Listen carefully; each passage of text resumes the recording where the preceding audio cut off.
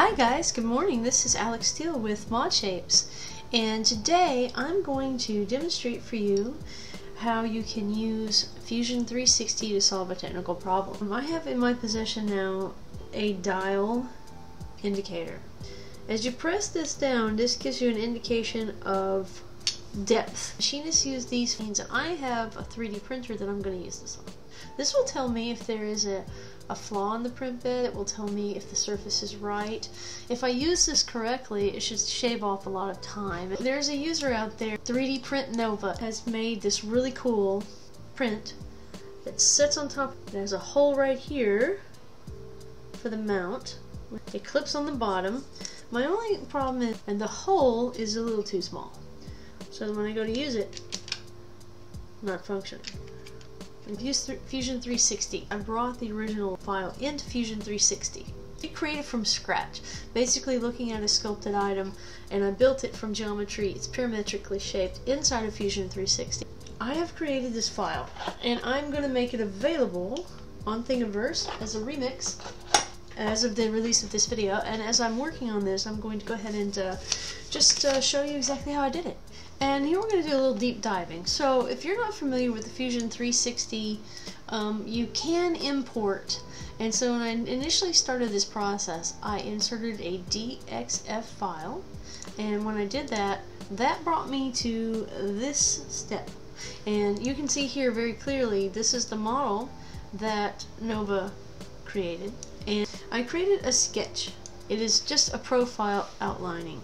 Now, I also used my micrometer, and uh, if you're not familiar with what that is, as a digital caliper. And what that allows me to do is get the precise millimeter measurements. Okay, and so you can see here I have this really cool profile here. Now the next thing that I did was simply extrude this geometry. And I chose 11 millimeters because I made this, I beefed it up by one millimeter. The next thing I did was I created the second sketch.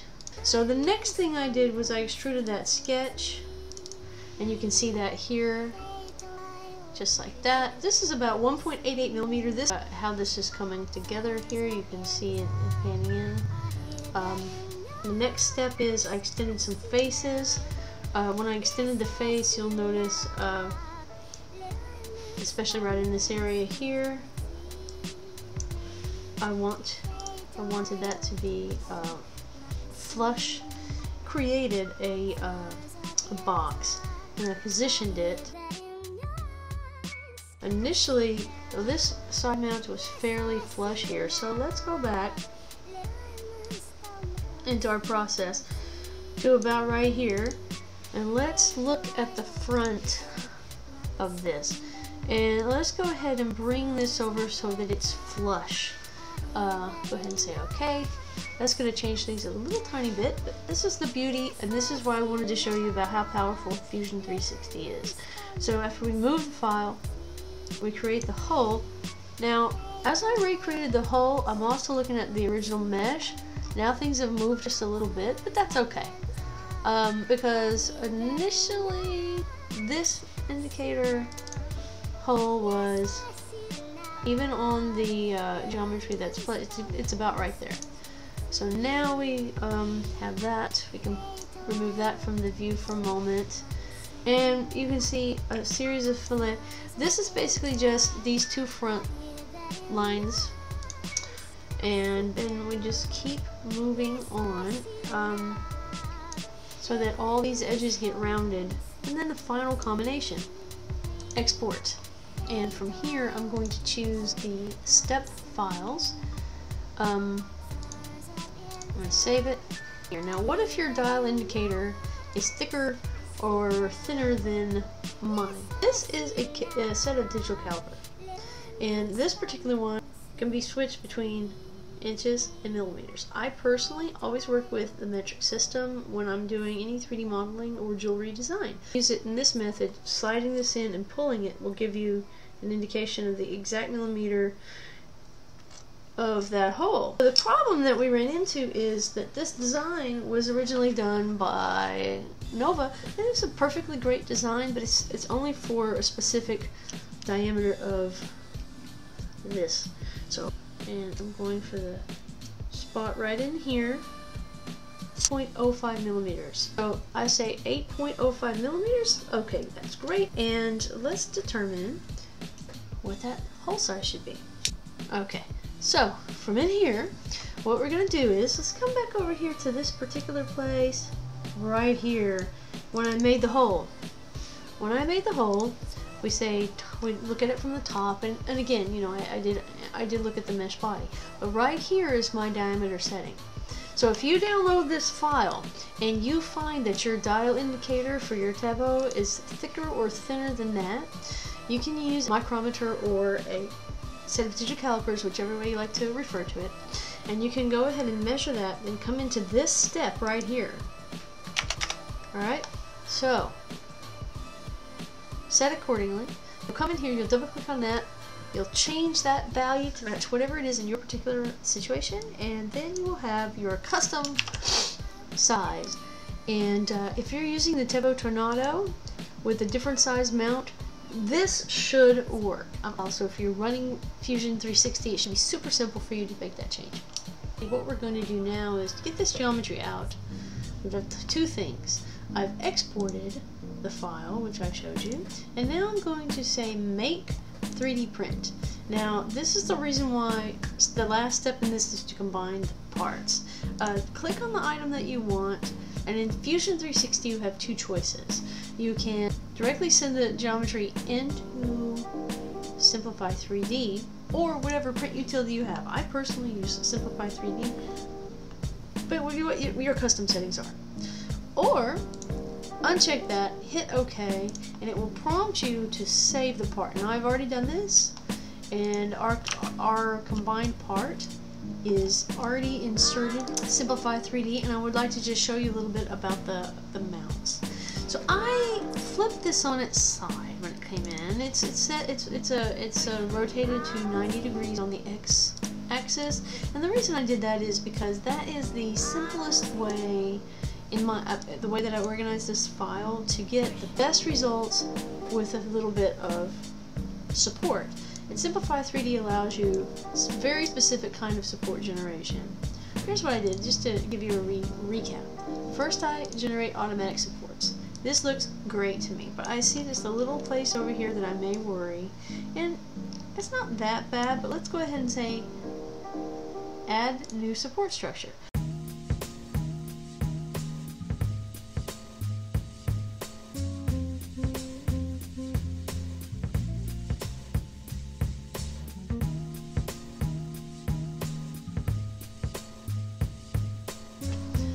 Infill, in this case, I'm going for 50%.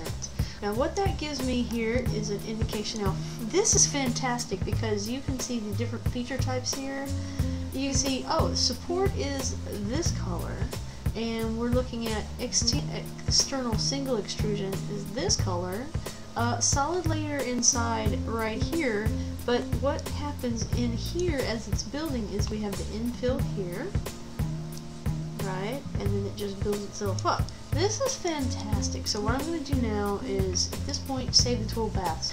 So now I'm going to jump over to the Octoprint scenario. Um, okay, so you can see here, I have on my screen, this is the original part, right? Um, and, you know, it's fantastic. Let's see what, and you can see the difference here.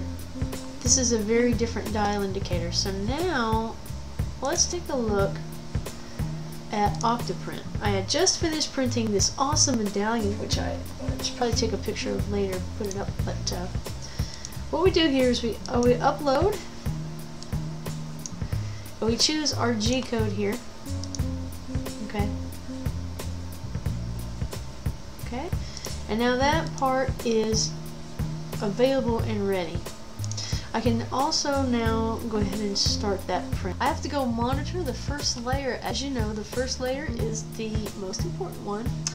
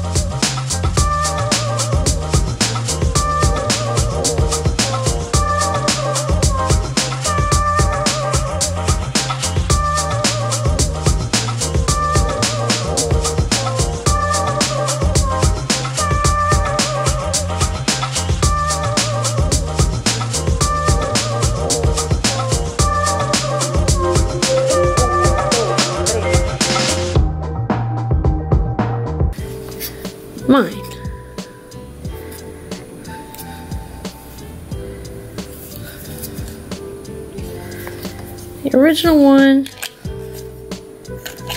wouldn't fit. Mine fits. So they look really similar. I'm gonna fix a few things on this model. Beef this up a little. Is holding it. Just maybe a little too just maybe a little too loose. I'm gonna tighten that a little more.